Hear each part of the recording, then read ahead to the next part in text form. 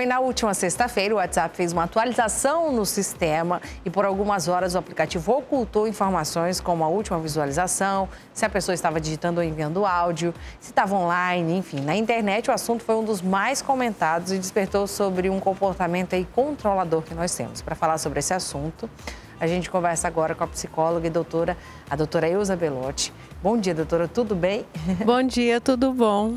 Bom, doutora, esse comportamento aí controlador, né? Como indicar outros problemas aí? Nossa, e foi fantástico, porque veio à tona nessa pandemia e saiu um, monstro, um monte de monstros de pessoas que gostam de controlar, que são possessivas. E foi, eu achei muito positivo, até para as pessoas, opa, eu tenho um controle e não sabia que eu tenho um controle. Sim. O que, que caracteriza quando uma pessoa quer ter esse controle do parceiro? Ah, geralmente é a insegurança de si mesmo. É, não tem uma, um controle sobre as emoções, desconfia, talvez pode ter vivido um relacionamento antes que foi frustrante, que foi traído e que aí deposita isso no parceiro atual. Então são sérios fatores, mas o principal é a insegurança. Qual a diferença entre amor e o sentimento aí de posse? Quando a gente ama, a gente deixa livre, a gente quer ver a pessoa feliz, a gente confia, a gente entrega. Quando é a posse, a gente não quer ver o outro feliz a não ser que seja com a gente. A gente quer ter o domínio, o controle sobre o outro. Aí isso é posse. E se não tratado, pode levar a doença séria para si e para o outro também, além de várias agressões físicas que pode acabar ocorrendo. O que, que pode agravar a situação? Que vai saindo do controle, controla celular, controla conta bancária, controla saída. E isso vai levando a pessoa a não ter mais vida, viver em função do outro, cada vez mais neuroses. Existe um jeito de acabar com essa situação? Existe um jeito de melhorar isso? Ah, sim, a terapia é o melhor jeito de olhar para isso, porque se não faz terapia e não olha para isso, depois é só com medicação, porque vai a neurose vai aumentando e esse controle vai se perdendo. Então é preciso olhar para isso já no início.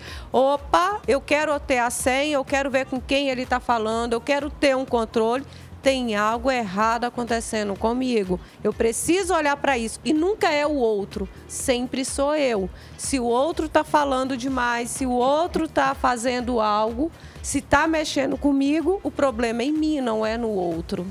E, e, a gente fala muito em relacionamento abusivo, né? Em que a gente vê o homem privando a mulher, né? O homem, é, enfim. Mas existe também esse, essa questão do, do, relacionamento abusivo da parte da mulher, né? Onde ela controla se o homem respira, né? Isso, e a gente não Nossa, consegue... E é muito rico você trazer isso, porque quando fala em relacionamento abusivo, só pensa na mulher vivendo esse relacionamento. E tem muito homem vivendo o relacionamento abusivo que tem vergonha de falar, mas que tem homem tendo até, como você falou, a respiração controlada num relacionamento completamente abusivo. Sim, e a gente fala muito do relacionamento abusivo, só vê o homem controlando a mulher. Mas quando a gente vê a mulher, as pessoas não julgam, é, não veem como algo errado, né? É, ah, não, ela tem ciúme, não, é, não funciona assim, né? O relacionamento, Sim. a relação tem que ser saudável, tanto da mulher né, com o homem, quanto do homem com a mulher, né? A gente precisa ver que existe algo saudável, uma relação de respeito, né, doutora? Uma relação de, de carinho, enfim, e de liberdade, né? Que Sim. ninguém é dono de ninguém, né? Nem a mulher é, é dona do homem, nem o homem é dono Porque da mulher. Porque quando se fala em relacionamento abusivo, pensa logo na força física. Uhum. Mas relacionamento abusivo também é impedir o outro de fazer algo, é proibir o outro de fazer algo. De usar é, algo, De usar né? algo.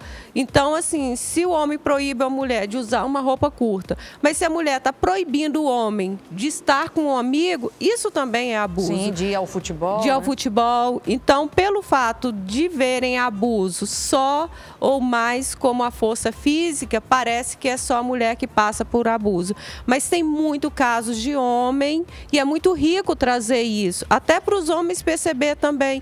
Pô, por que, que eu estou vivendo esse relacionamento abusivo? Porque não é só nós, mulheres, que somos as vítimas, que somos as fragilizadas. Os homens são também fragilizados e eles são vítimas também. São, são as vítimas também, né? Eu tava, a gente estava até comentando sobre isso, que tem uma, a Maíra Card, que é uma influenciadora aí, né?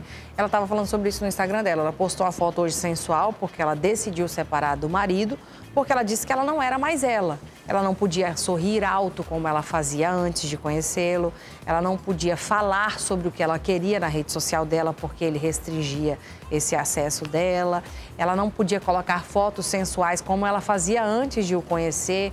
E hoje ela colocou essa, uma foto bem sensual no Instagram e disse que ela pode fazer o que ela quiser da vida dela, que ela não é, não estava sendo ela na relação. Não teve agressão, não teve nada, mas era uma relação abusiva. Concorda? Completamente abusiva. Nesse caso aí, ela estava sendo impedida de fazer algo que dava prazer a ela e não necessaria, necessariamente algo que estivesse desrespeitando ele.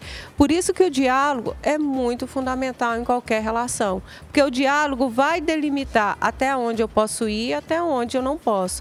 E lembrando sempre que o amor ele deixa o outro livre e a pessoa se sentir segura a ponto de olhar para o outro e falar assim: eu me amo demais. Se você não estar comigo por livre e espontânea escolha, que não seja opção na vida de alguém, seja uma escolha dessa pessoa.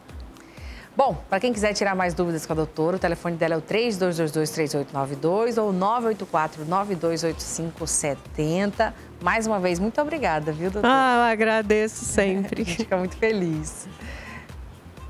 Bom, tá aí então muito esclarecedor, né, aqui conversar com a doutora sobre isso. A gente precisa ficar atento aí a essa questão, tá? E agora a gente vai parabenizar algumas cidades do estado, do estado que estão fazendo aniversário, né, Renata?